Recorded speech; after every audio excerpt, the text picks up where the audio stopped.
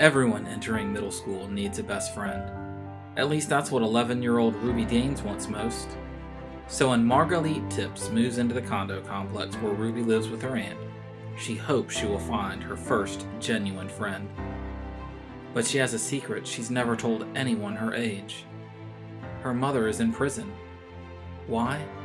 Ruby doesn't remember and has avoided finding out until her new friend's family history seems to coincide with the very events that put her mother in prison. Will she be able to keep her secret? Or will she lose the first true blue friend she has ever had? And how will Ruby deal with knowing the truth about her mother? Find out by reading Ruby on the Outside by Nora Raleigh Baskin.